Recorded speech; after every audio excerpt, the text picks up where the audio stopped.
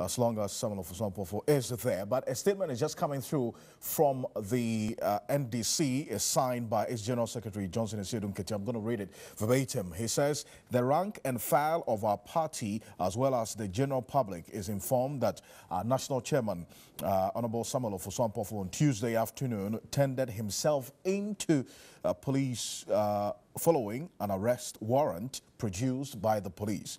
Consequently, the police have proceeded to search the home of Mr. Ofosu-Ampofo. The full complement of the party's legal team is in touch with the police and is closely monitoring the situation.